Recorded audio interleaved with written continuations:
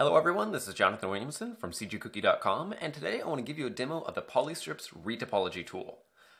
So Polystrips is a tool that allows you to quickly and easily lay down the key face loops for more complicated forms, such as a human face, by using a hand-drawn stroke approach. So the goal here is just to lay down and kind of map out your key topology to then be filled in later. So let me just give you a quick demo. And so with the Polystrips add-on activated, I'm just going to go right over here to the 3D View toolbar with an object selected in the Retopology tab and just click the Polystrips button. This is then going to put me into draw mode such that I can now draw across my model using a brush just like texture painting or sculpting to then generate these really nice, clean strips of polygons. These strips are then generated based on a Bezier spline and I can actually modify them after the fact. So here you'll see I have a single strip I can right click on it to select it, and at which point you can then see the handles that are then driving the shape of my curve.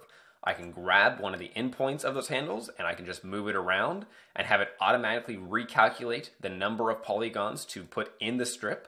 I can then rotate that handle or I can scale the handle to change the density of the polygons.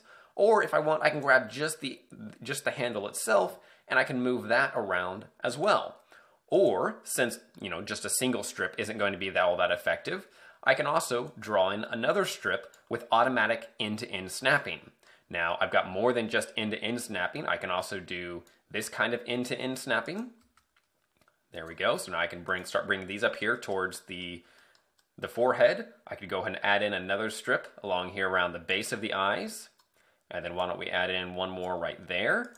Maybe we'll scale this one down just a bit. We'll bring this over. We could go ahead and connect these. Bring that down. We can take this over here. And this is already starting to give us a very good base for what we want within our topology. So with Polystrips, the whole goal of the tool is to allow you to very quickly and painlessly map out the key forms of your topology. You know, because one of the most time-consuming parts of the retopology process is just figuring out what your flow should be like. So this tool allows you to not have to worry about that flow nearly so much because you can just draw it in naturally with the key forms and then go back in and fill in the gaps later using any number of simple tools. So then I can go ahead and add in these ones. I can adjust these. Maybe I'll switch over here. Notice that we've got full navigation controls, so even though we're in a modal operator, we can still navigate around the viewport no problem using any of the number pad keys, the mouse, the mouse wheel, trackpad, you name it.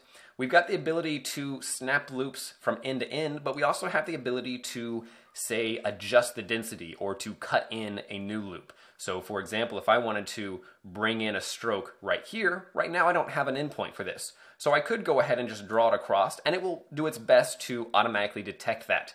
Sometimes it doesn't quite work in this case, so we have the ability to convert a junction type such that we can, you know, adapt it to fit our needs a little better. Or if we have a junction that we really don't need anymore, we could either just move that around noting that the density is of course automatically adjusted such that you don't have to worry about that. But there are some scenarios where you may want to adjust the density. So for example, within this area, maybe I know exactly how many loops I have in here, but I would like larger polygons, but because of that scale, it then affects this. Well, then we can simply select a loop, and using either control mouse wheel, command or mouse wheel if you're on a Mac, you can just adjust the density very, very quickly. From there, I could go ahead and, you know, draw in another loop here. If I know that I want an endpoint right here and I would like to just merge these together, I could just hover over this, press the K key, and I have a knife cut. At which point I could grab this handle, hover over this one, and just press M, and I can merge those two together. So we've worked really hard to ensure that there is a large number of tools to really let you do what you need to do when generating a mesh flow like this.